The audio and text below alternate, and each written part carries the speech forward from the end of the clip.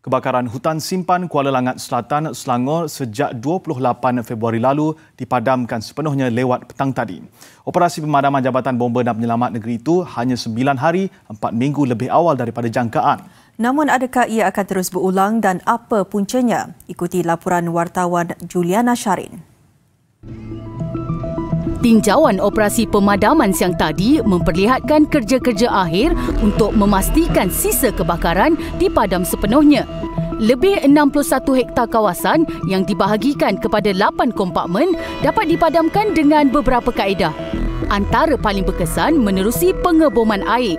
84 kali penerbangan dilakukan dengan pesawat milik bomba dan agensi penguatkuasaan maritim Malaysia APMM dengan menggugurkan 307,200 liter air.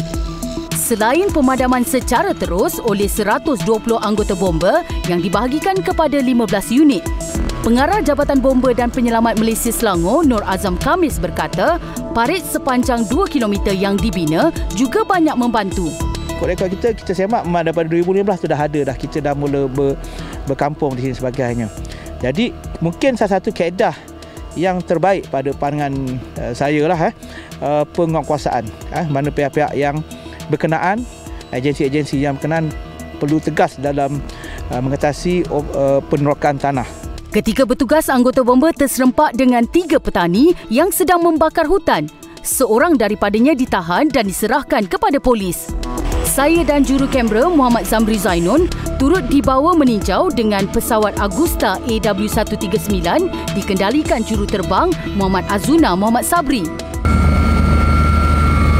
Tinjauan udara mendapati sebahagian besar kawasan yang terbakar merupakan kawasan pertanian menjadi persoalan uh, dari mana mereka ini mendapat kebenaran dan siapa yang memberi kebenaran kerana ini adalah hutan simpan. Kerajaan Negeri Selangor sendiri mengakui uh, berkemungkinan puncanya disebabkan oleh pertani haram yang melakukan pembakaran untuk membuka pertanian baru. Ia seperti um, orang lain yang bakar, orang lain yang padam. Orang lain yang makan sampai kenyang, orang lain yang basuh pinggan. Juliana Syarin untuk TV3.